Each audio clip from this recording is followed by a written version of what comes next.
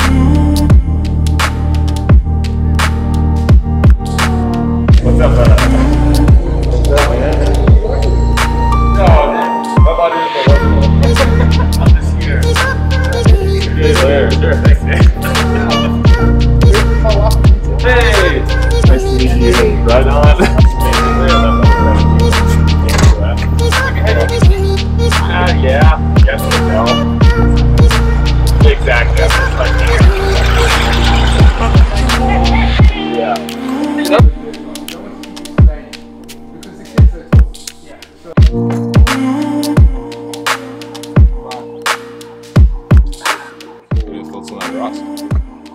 thoughts? Crunchy, delicious, everything you need in the morning. okay.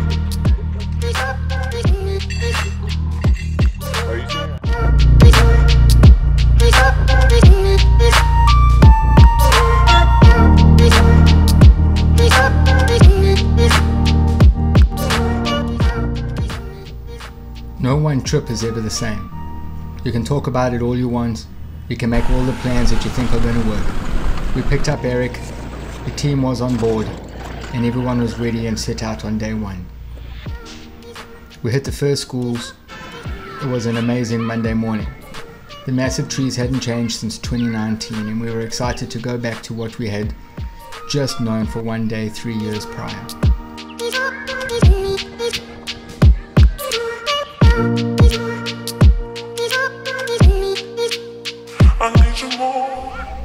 With six to eight months of planning, organizing, and logistics, it was now time to just arrive at the school.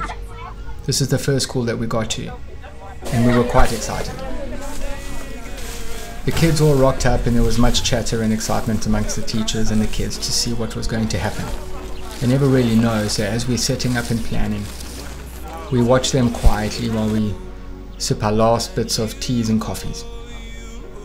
They're all checking past each other along the lines, and it's a great way to watch these kids experience what it's like to be treated at their own school. We never really know what to expect sometimes. The kit we use is a specially designed kit that comes out of the US, and it gives us a lot of joy in order to use it mm. correctly so that these kids benefit from it.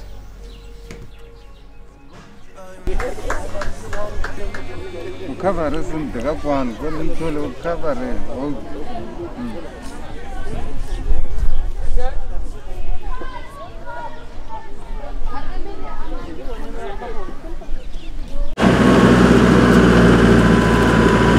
That's an how's the first school? Um, pretty good. The usual chances, but um, it worked out well. We're actually leaving at for 11, so I think it's decent timing. The second school should be a lot quicker. So this school, yeah, this school came out nicely. We had a, the last kid was um, had astigmatism because it was all over the place. So we're going to give that to the uh, care coordinator and uh, let them assist in helping to uh, sort their eyes out. Shame. These communities don't have the money to um, help their children or know that their children need the help. Anyway, I'm going to pull over so you can get in the car with that uh, What you're about to watch is the direct impact on the work we did in 2019.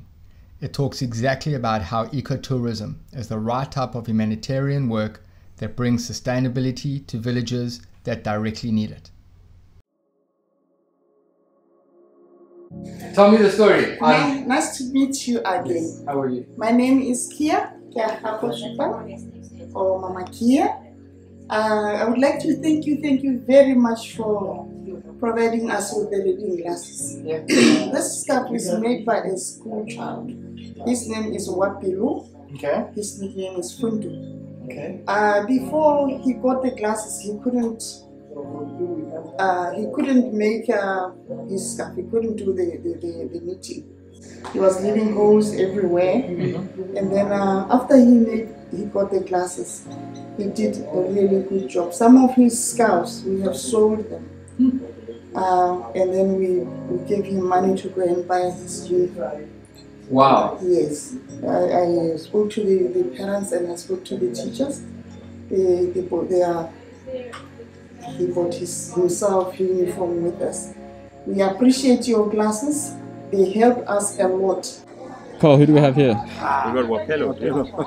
2019, we did a screening project to them, and he, he ended up making this. And the project purchased this from him, and that will then be recycled back into the community.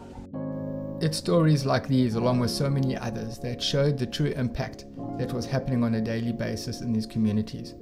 The incredible positive ripple effects that are set in motion when a community of people come together to spread love far beyond their borders in a true mission to love people and love nature.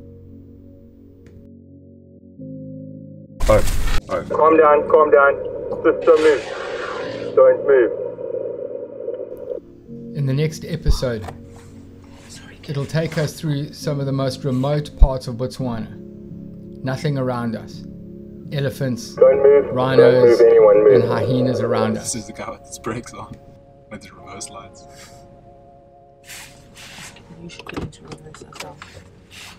Ivor, just put your vehicle in reverse. Tim, put your vehicle in reverse. Ready to go if we need to.